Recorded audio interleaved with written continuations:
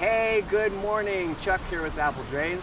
I'm out here in Hurricane Nicole and I want to show you how this $15 catch basin can save you so much money over installing a French drain. So can you see this catch basin right here? It's the same one with a green grate. Let me show you what happens during an event rainfall where we get two or three inches of rain in an hour. So during a huge rainfall, you can see how well the catch basin works. Look at that vortex. This is pulling all of the water from this area directly into the pipe. There is a French drain that's attached to this, but look at the surface water being carried away. This is the backyard, and it's attached to that same drain. Notice that there's very little movement back here. There is an extensive French drain back here, but there's no catch basins. Remember what a French drain is. So what is a French drain? A French drain is perforated pipe, see the holes at it, pointing down into a base of gravel that allows the water to flood up into the system and be carried away. By adding the catch basin, now we can collect the surface water, and that's the bulk of the flood, as you saw. The backyard has French drain running all through it. See the holes? There's perforated pipe surrounded by gravel, also a fabric, but it's so slow to let the water in, it needs a catch basin. And whether or not you use a big 12 by 12 or a small 6 by 6 you need a catch basin attached to your French drain. Probably one of the most common mistakes that people make is they add what's called a blind inlet. And a blind inlet simply means that they don't put a catch basin on the lines. And what they do is they set a grate across the top of the fabric encased pipe.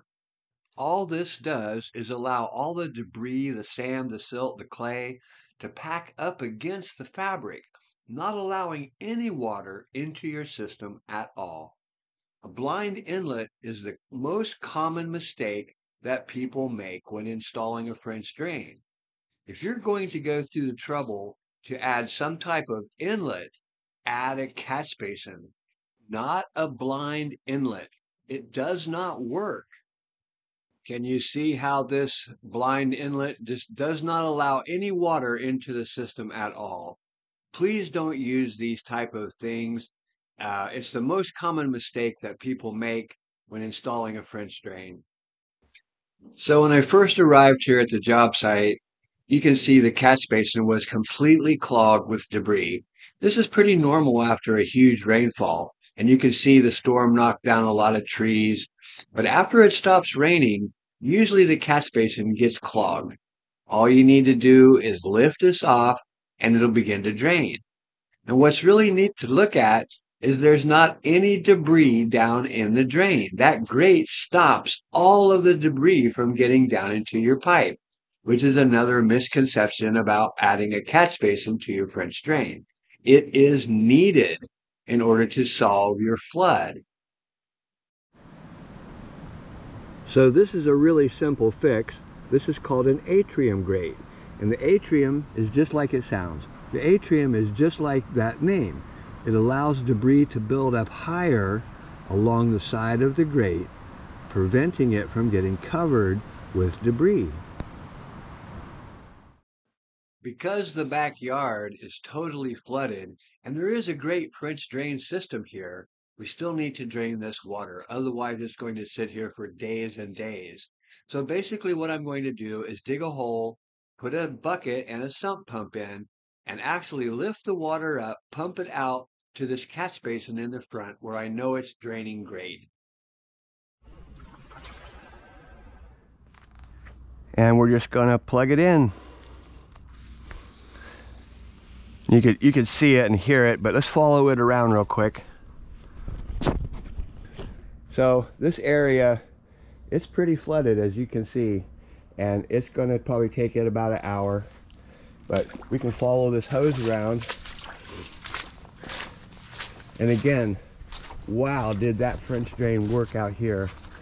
You know, for, I don't know how many inches we got here. Probably three to four inches of rain. The area is extremely dry. Yeah, there's, you know, a little water left, but remember it was a hurricane. Got the water pumping down into the French drain. You see it? Looking good. Let's go out here where it discharges so you can see it again. The water was probably clear up here to this bed and it's receded. This water goes to the St. Johns River, but this is looking good. Oh yeah. Hard to see it, but there's there's water coming out of here quite well. Looking really good.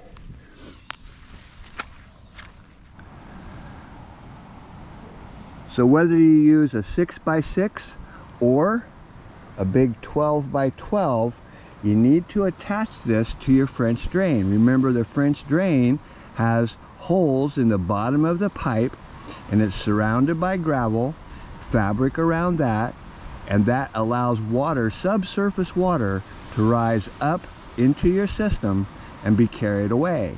But that's the underground water. The surface water is the bulk of the problem during an event rainfall. You must have a catch basin attached to your French drain. This is the discharge from the catch basin in the French drain.